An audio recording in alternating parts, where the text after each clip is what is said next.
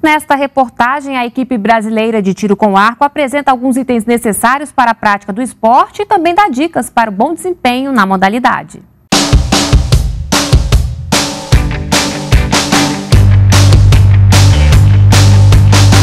Cada atleta tem o seu material, ele não pode manipular ou pegar o material de qualquer outra pessoa, porque coisa de milímetros é, é, muda completamente a, a forma como o atleta vai atirar.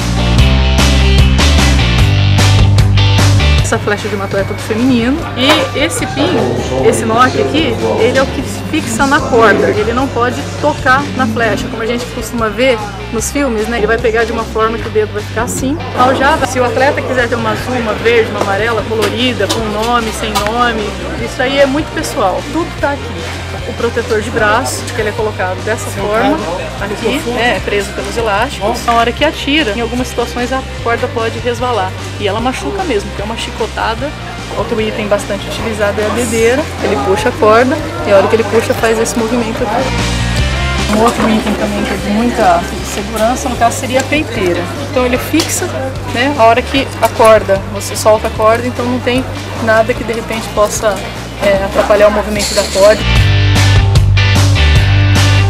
A primeira coisa do arco é o handle.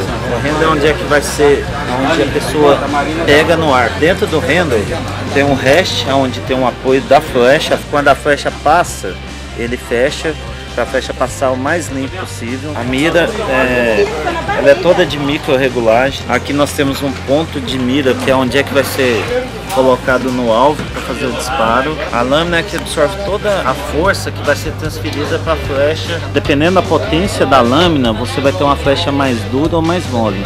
A principal função do estabilizador é manter o arco parado. Você regula, vai colocando peso e próprio para você para o tiro ficar mais parado. Além de absorver vibração. Se a pessoa é muito grande, ela vai usar um arco maior. Principalmente para quando você puxa o ângulo da corda não ficar muito fechado. Então assim, é muito importante ter a relação de lâmina, corda e flecha ideal para cada arqueiro.